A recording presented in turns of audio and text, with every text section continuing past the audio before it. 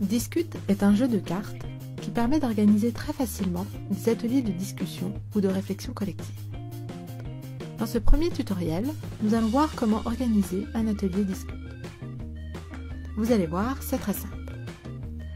Pour organiser un atelier de réflexion collective, vous pensez peut-être qu'il faut être très expérimenté. Pas du tout. Il vous faut juste un jeu de cartes Discute, avec éventuellement l'extension Discute Plus, deux feuilles de papier, deux crayons, une montre et bien sûr des joueurs. Il vous faudra aussi une question sur laquelle discuter. Vous avez tout cela Vos participants sont bien installés? Alors c'est parti On va commencer par désigner les animateurs de l'atelier. Vous pouvez désigner jusqu'à 5 animateurs. Il vous faudra en tous les cas désigner au moins un président. Le rôle du président est de distribuer la parole de manière équitable. Il n'aura pas le droit de donner son avis ni d'intervenir pendant la discussion. En fonction du nombre de joueurs présents, vous pouvez aussi désigner un guide, qui n'aura le droit que de poser des questions et aura pour tâche de veiller à ce que la discussion ne parte pas dans tous les sens. Un secrétaire, qui n'interviendra pas mais prendra en note les échanges. Un arbitre, qui vérifiera que les règles du jeu sont respectées et comptera les points, et un gardien du temps qui surveillera le temps qui passe. Vous pouvez vous-même assumer l'un de ces rôles. Ça y est, les animateurs sont désignés et ont reçu la carte correspondant à leur rôle.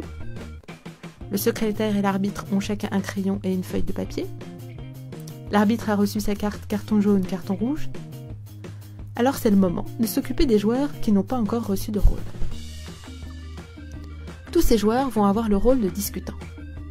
Vous allez distribuer à chacun d'eux 5 cartes d'intervention. Une carte Je propose une idée, qui leur servira à proposer des réponses et à faire des hypothèses. Une carte Je pose une question, qui leur permettra d'interroger les autres joueurs. Une carte Je fais une objection, qui leur permettra de s'exprimer quand ils ne sont pas d'accord avec un autre joueur. Une carte J'apporte une confirmation, qui leur permettra de s'exprimer quand ils sont d'accord avec un autre joueur, et une carte stop, quand ils ont besoin d'interrompre brièvement la discussion pour aller aux toilettes ou demander une précision sur les règles du jeu. Si vous utilisez l'extension Discute Plus, vous pouvez aussi distribuer aux discutants des cartes supplémentaires, un petit peu plus difficiles, comme par exemple la carte Demander proposer une définition, Demander proposer une reformulation, Demander proposer un exemple, etc. Tout le monde est prêt? Les discutants ont chacun leur carte d'intervention? La durée de la discussion a été fixée? Alors on peut lancer le chrono et commencer la discussion. Les joueurs qui veulent intervenir doivent lever la carte qui correspond à leur intervention et attendre que le président leur donne la parole. Une fois qu'ils ont obtenu la parole, ils peuvent s'exprimer. Si l'arbitre considère que l'intervention correspond bien à la carte jouée, il émet un petit signal sonore et note les points gagnés par le joueur sur sa feuille de papier. Le président essaye de donner la parole en priorité aux joueurs qui ont le moins parlé. Pendant ce temps, le gardien du temps surveille le temps qui passe. Il prévient les joueurs lorsque la moitié du temps de discussion est écoulée, 5 minutes avant la fin, et lorsque la discussion est terminée.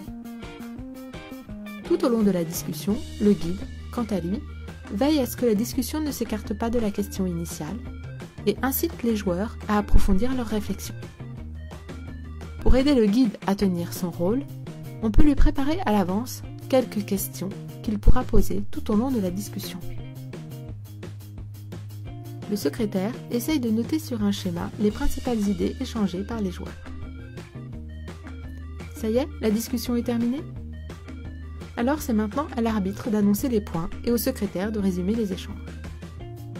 Puis, c'est au tour du guide et du président de dire ce qu'ils ont pensé de la manière dont s'est déroulée la discussion et ce qu'ils ont pensé de leur rôle. Pour finir, la parole est aux discutants pour qu'ils disent ce qu'ils ont pensé des animateurs et de la discussion. Voilà, c'est fini. Comme vous le voyez, organiser et participer à un atelier discute est très simple et à la portée de tous dès le plus jeune âge. C'est convivial, ludique et ça entraîne à réfléchir à plusieurs. Mais quels sont les avantages d'un atelier discute par rapport à une simple discussion spontanée? Les cartes discute apportent un cadre clair, réglé, sécurisant et égalitaire à tous les participants. Personne ne peut monopoliser la parole ou imposer ses règles à la discussion. Chacun sait ce qu'il a à faire et ce qui est attendu de lui. Les cartes discute donnent aussi une dimension ludique et décontractée à la réflexion, qui plaît beaucoup, en particulier aux enfants. Les cartes discute, enfin, incitent à prendre conscience de ce qu'on fait quand on parle et à être plus exigeant avec sa propre pensée et celle des autres.